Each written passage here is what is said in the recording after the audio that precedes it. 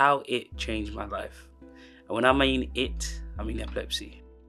Alright, quick disclaimer, my hair looks a mess. But on a serious note, everything said in this video is my opinion, my experiences. I remember I had my first seizure when I was about seven. And I remember that day like it was yesterday. After that, I remember going to the hospital and just uh, waking up, obviously, with oxygen mask on my face and just shocked thinking what just happened. And yeah, it was just, it was a weird feeling.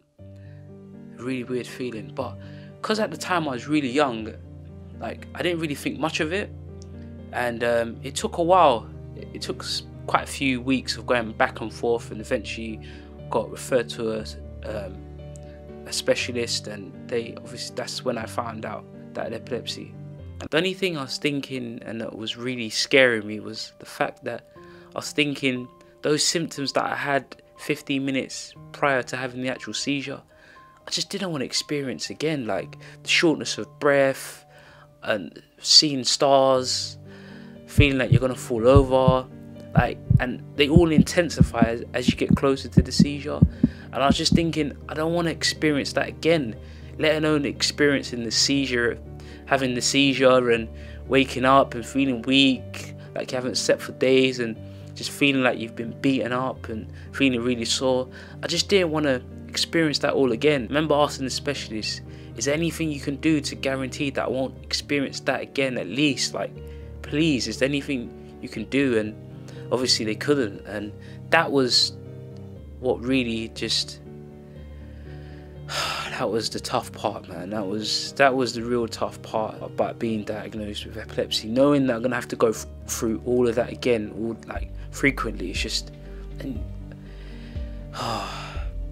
i've never experienced anything like it and it's like even now to this day just before i have a seizure the symptoms i have it always feels like that's gonna be my last breath. Like I'm gonna pass away.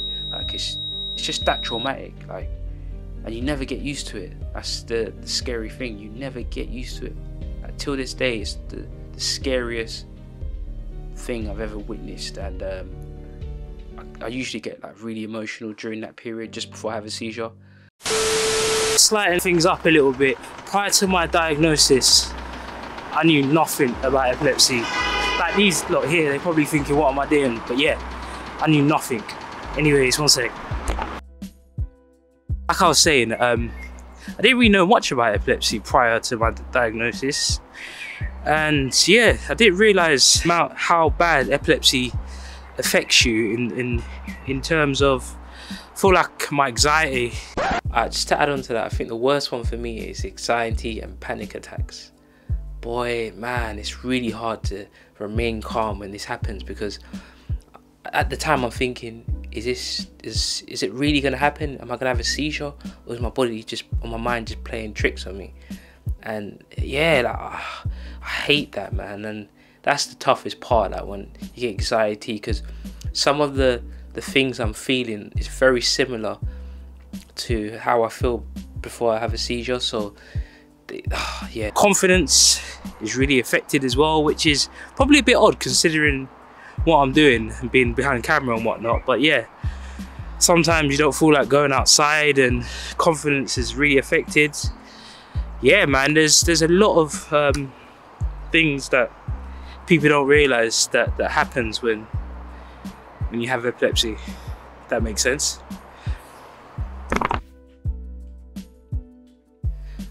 because I got diagnosed when I was very young at the time, I don't really remember there being that much information out there.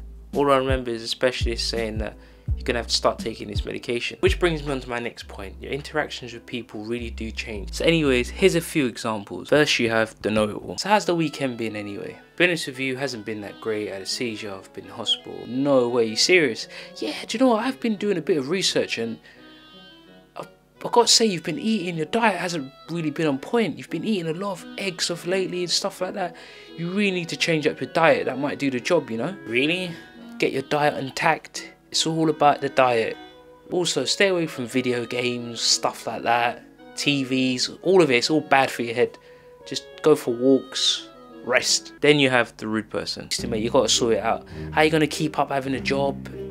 Employers will get fed up of you. They'll give you the sack. All right. People will get fed up of you. Sort it out. Go down there, have a chat with a doctor or some someone. Sort it out. Honestly, mate, sort it out. You do realize it's out of my control, right? Honestly, mate, I'm beginning to get fed up of you and all. And then you have the person that's not interested, too busy.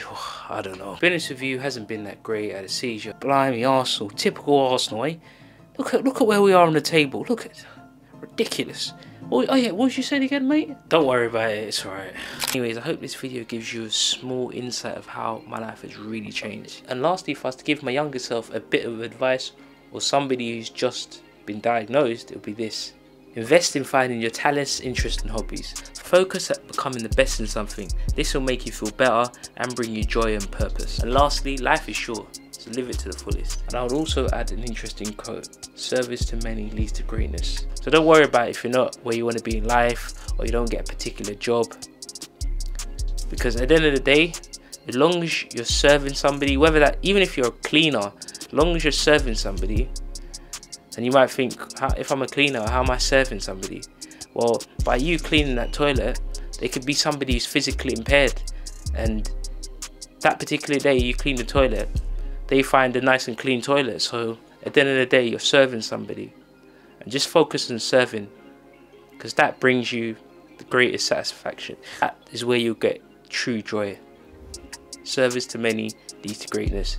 Anyways, on that note, sweet.